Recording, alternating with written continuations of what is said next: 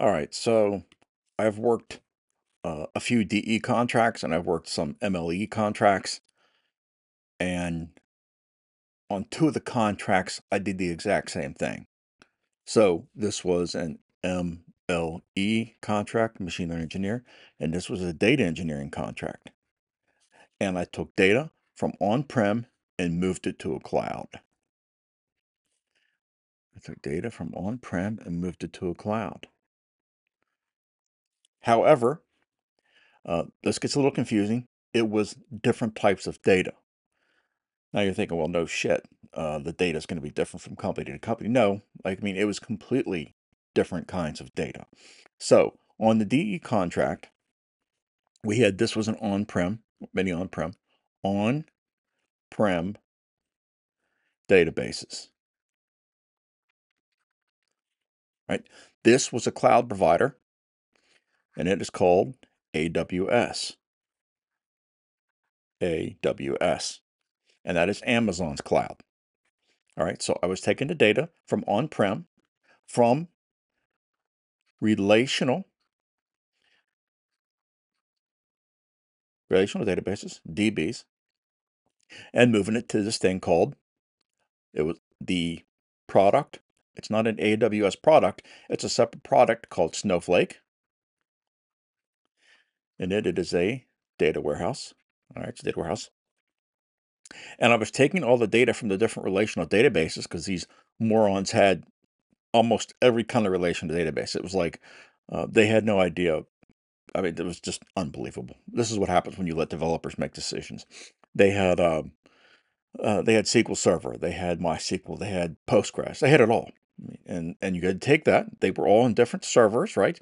And it doesn't matter. You had to take that data and put it into Snowflake.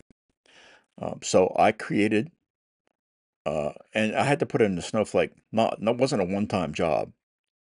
Like I wasn't just go, oh, I need to jam it there. It was, it's called CI CD. Continuous integration, continuous delivery. And that means when something changes in one of these relational databases, it needs to come back into the Snowflake data warehouse, right?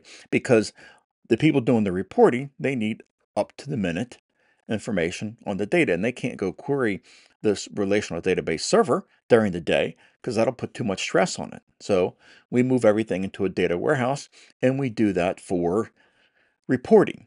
All right. So this data was all kinds of data. It was HR data.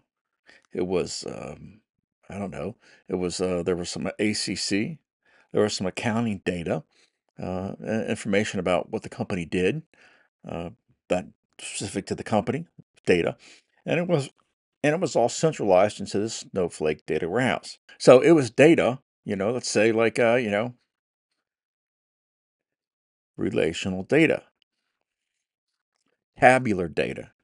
It was tabular data, right? It has a one, a two, a three. It had my name, like name would be uh, Jones or West or Frederick or whatever, all right? Age, let's say a 23, 34, 22. That's the kind of data that I moved to this data warehouse. And that's what I did all day. you think, oh, hell, you can do that in a week? No, no, you can't, I promise. Uh, and I used a tool, used a tool to do all this. You just can't, you could write the code for it, but that would be hell. I used a tool called Fivetran. And that allowed me to create these connectors that connected to these two and move the data to here for reporting. All right. Now this, this I had to write all the code. This I had to move data for an MLE project. So we could take the data, right, that was here, clean it, clean it, and then move it to this data warehouse for cleaning, which happened to be, guess what? Snowflake. It was the same data warehouse, but the contents were completely different. See this? See that data? Notice how you can read that? You can't read this data. So when you, the word cleaning data means a lot of different things to a lot of different people. However, it's very, very specific to a machine learning engineer, right? Cleaning data means creating the data in a format that the machine learning model can understand and doing it to the best of your ability. So here's what data for a machine learning model looks like.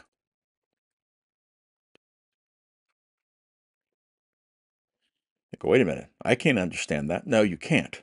It's all numbers, right? Because that's all machine learning models understand. So when people who were idiots, like the data science team, didn't have this skill, they could just look at this data and know exactly what was what. This is the target variable, right? This is uh, the number of rooms. This is the whatever, all right? This data doesn't look anything like that data, but it's still creating data pipelines. And this was done with Python and SQL. All right, some things have to be done in SQL. So let's say I was cleaning in here. Let's say I had this database.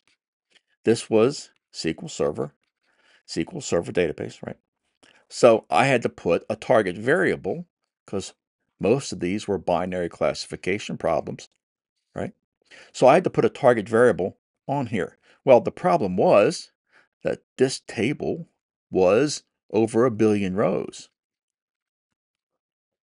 So how do you put a target variable on a billion row column in Python? Well, the answer is you do not, because you cannot, you don't have a server big enough. You would have to upload your data to BigQuery or put it somewhere and then add the target variable. So could you do it in Snowflake? Yeah, you could do it in Snowflake.